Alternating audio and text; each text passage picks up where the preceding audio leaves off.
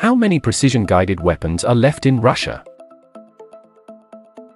At first, the Pentagon thought that Russia's Kalibr cruise missiles would run out on March 20th, and now speculates that Russia used half of its ammunition.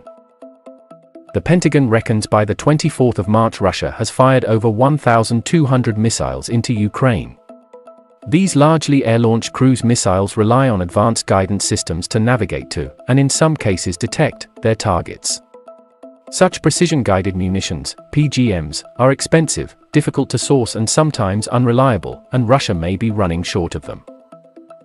A US senior defense official told reporters, We do think that they are beginning to face some inventory issues with precision-guided munitions, which is one reason why you're seeing the increasing use of what we would call dumb bombs.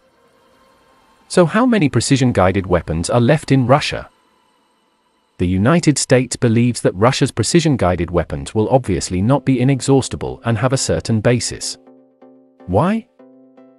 First of all, it was not until recently, 10 to 12 years ago, that Russia began mass production of the most advanced ammunition, Kalibr and Iskander. Therefore, the accumulated quantity cannot fully meet the needs of special military operations in Ukraine. In particular, many missiles have been consumed in exercises and operations in Syria.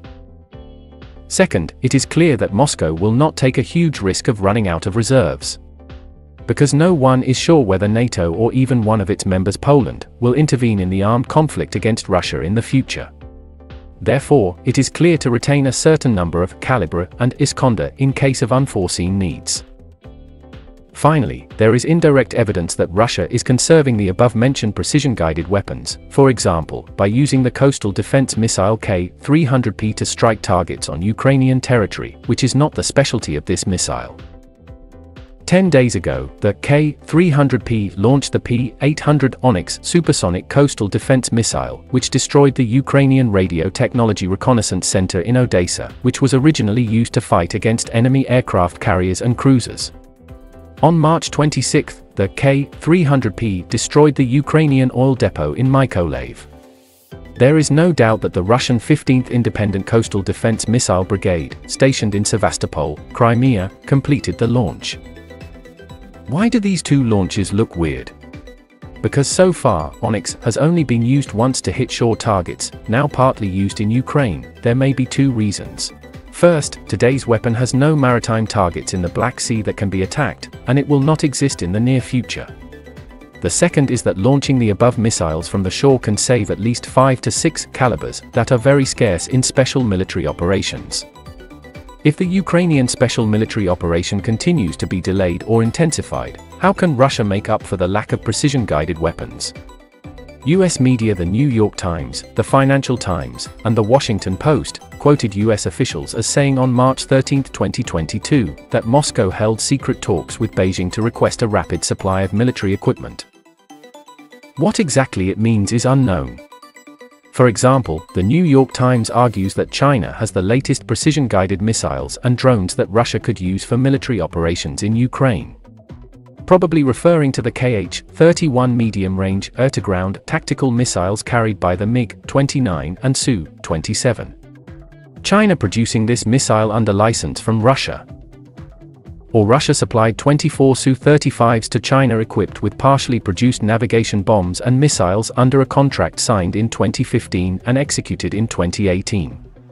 Now these ammunition may be very valuable to the Russian army but both Moscow and Beijing have denied holding similar talks. Obviously, the arms trade will not be made public in near future.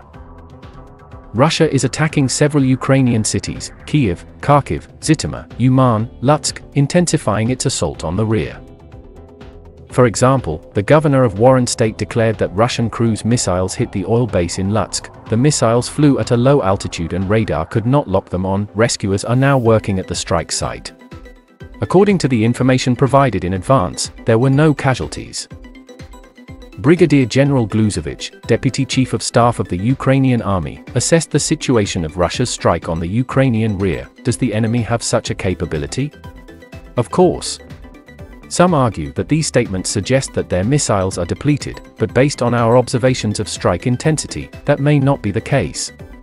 The enemy has opened heavy fire on our military infrastructure, military targets, and they are capable, believe me, and will take action in the near future. Podolyak, advisor to the Chief of Staff of the President of Ukraine, believes that precision strikes against Ukrainian bases have reached the level of overall missile assaults. Russia is annihilating everything that can be moved. He wrote on his Twitter feed, every day more and more missiles coming. Does Europe like this? Most believe if the number of Kalibrs of military targets against Ukraine declines, the strength of the Russian army will be exhausted. According to the US Department of Defense, as of March 26, Russia had about 50% of its cruise missile stockpile left. Yet Russia's military-industrial complex is producing at full capacity, replenishing arsenals with new precision-guided weapons every day. Still, the Pentagon's current assessment is significantly better than the US forecast at the beginning of the special military operation. Foreign experts recall that when the United States invaded Iraq in 2003, most of the Tomahawk reserves were used up in one month. In short, according to the initial assessment of the United States, the Russian Defense Ministry should run out of missiles on March 20th. On March 24, Forbes quoted information from US military experts as saying that this did not happen. Obviously, precision-guided munitions are expensive to produce because advanced navigation and target indication systems are required for their production.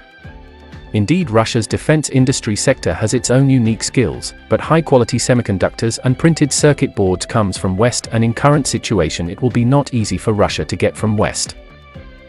Of course, no one will deny information warfare, but some in the West believe that Russian cruise missiles may not be filled with various, superfluous, electronic components. In most cases, simpler solutions can be employed, including equipment for air supremacy. For example, the Russians attacked rocket launchers and ammunition storage sites hiding in Kiev's Retroville Trade Center, and attacked large underground warehouses by using drones to calibrate. It is likely that supercomputers have been replaced with simpler microcircuits. In other words, from a technical point of view, a missile strike on a Ukrainian target is very different from a strike against militants in Syria, although Russian drones also pursue high hit accuracy. It should be noted that for any country, the number of long-range precision-guided weapons is a hidden military secret.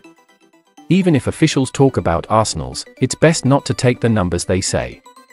It can be asserted that Kiev and the West do not know exactly how many Kalibrs, Iskander, daggers are left in Russia. On this point, the Royal United Services Institute researcher, Korchard said, I expect that Russia's cruise missile arsenal is huge, but it is by no means inexhaustible, they are quite cautious in choosing their goals. No one knows the exact number of Russian cruise missiles, although there are secret reports that Russia produced a total of about 120 Kalibrs in 2018. According to the Association of Foreign Experts, foreign analysts do not even have a grasp of the funding of Russia's main precision-guided weapons manufacturers. Forbes expert explained to the reader, the West has also encountered the problem of stockpiling Stinger surface-to-air missiles and a Javelin anti-tank missiles, and now it is urgently shipped to Ukraine, and the demand has exceeded the production capacity of the United States, if the US and Europe can encounter the production of precision-guided munitions, let alone Russia? During the Great Patriotic War, the West was so self-righteous. West believed that USSR can produce only 500 tanks per month, but the fact is that in the first half of 1942 the Soviet tank factories produced 11,000 tanks, and in the second half of the year, more than 13,000, that is, about 2,200 tanks per month.